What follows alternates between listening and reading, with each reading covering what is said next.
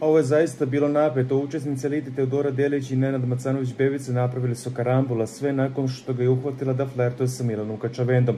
Naime, Delićki se ne sviđa način na koji Bebica priča sa Milanom, pa su sada pali i prednje od kojih mu nije bilo dobro. Nenade, tebe treba da bude sramota. Kako je moguće da tako pričaš sa njom, a da vidiš pritom da ću da gledam? Je li to neko provociranje?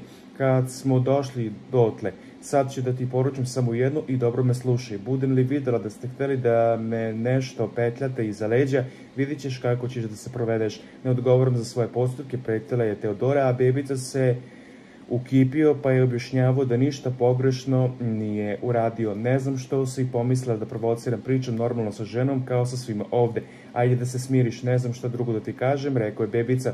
Ona je njega počela da poliva, a znamo da polivanje i ovako užasne pretnje budu rešene sankcionisanjem zadruge, odnosno diskvalifikacijom. Da li će do toga i doći, ostaje da se vidi.